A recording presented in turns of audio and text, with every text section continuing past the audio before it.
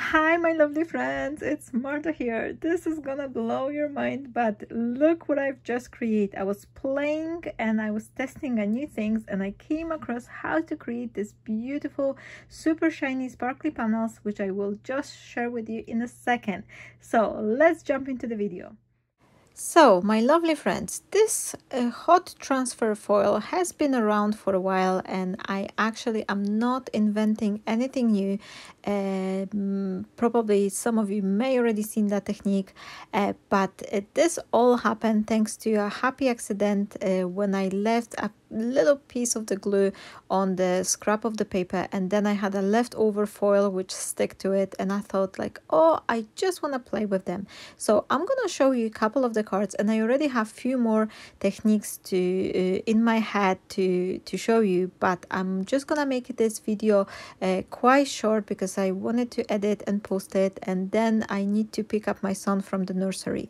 So what I'm thinking uh, I want to create a little little bit a uh, couple of the cards for the Christmas combinations because whenever it's festive time I always find myself a little bit more courage to uh, you know go with more bold color and shininess sparkliness. So I thought this foil technique will be great for creating the Christmas cards and maybe uh, once we uh, some of you may already start working on the Christmas card that could be a little bit of inspiration and these techniques will be good for uh, for mass producing as well.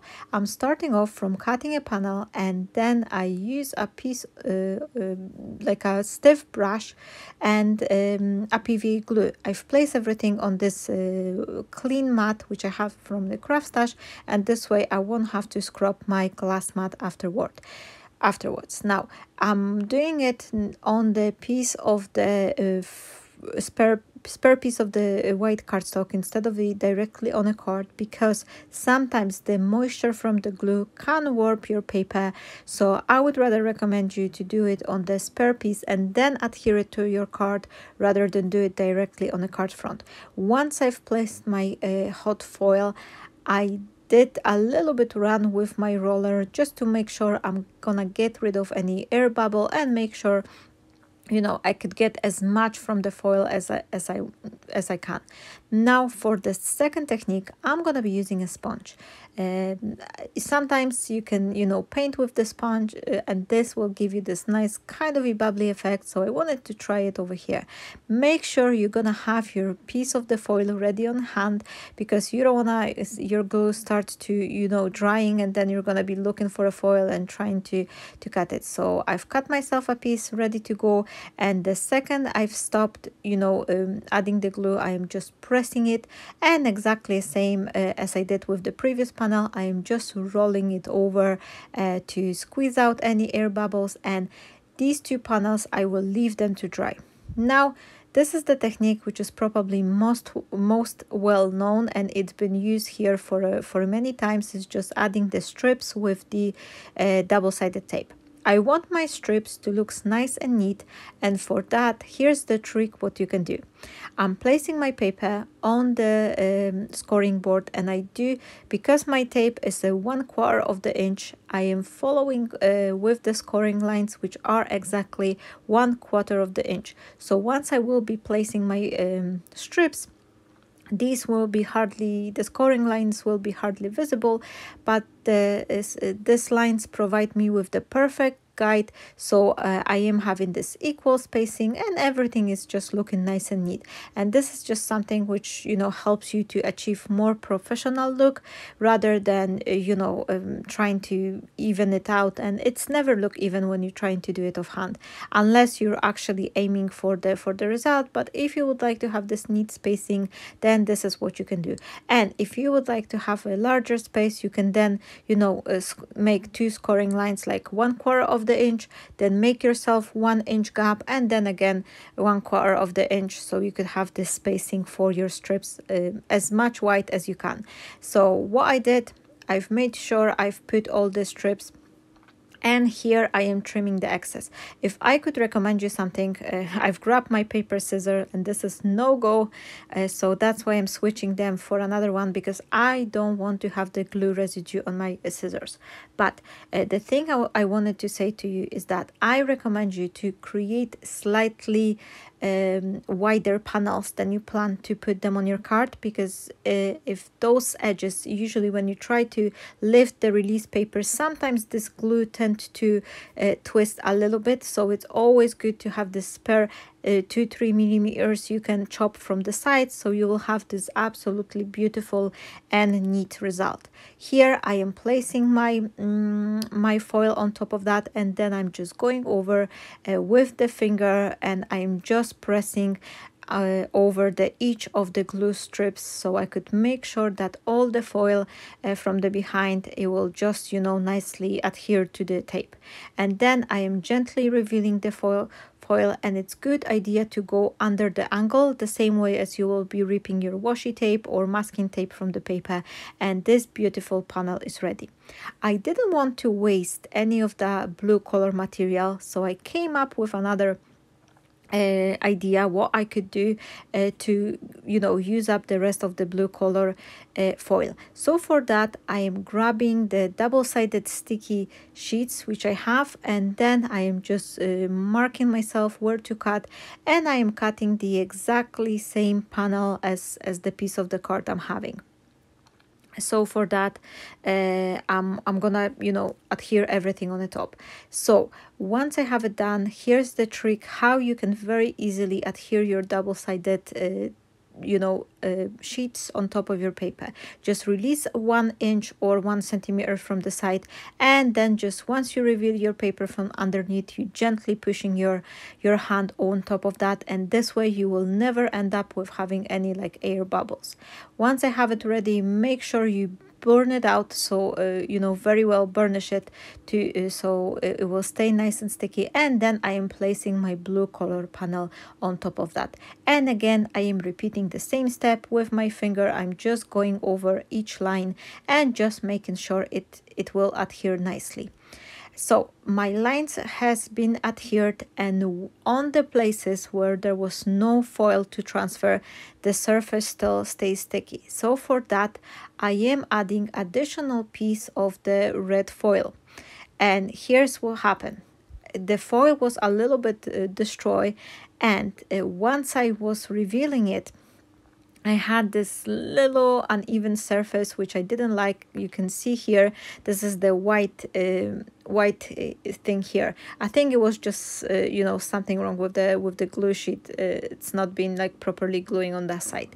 So I thought, why not prevent it from happening uh, by creating the more distressed look. This way, the panel doesn't have to be super perfect, but uh, you know, it will still look nice and here is uh, where I'm creating the panel which I showed you at the beginning. So I'm starting the exactly the same way. I am cutting myself a double-sided sheet up to the size of this panel I have and then I'm just pressing it. It was a little bit wider, the white, uh, white cardstock was a little bit wider on the side, but I will trim it anyway. And now I am distressing my foil by squeezing it and just making you know a couple uh, a little bit uh, ruffle crinkles. So this way I have this nicely distressed look.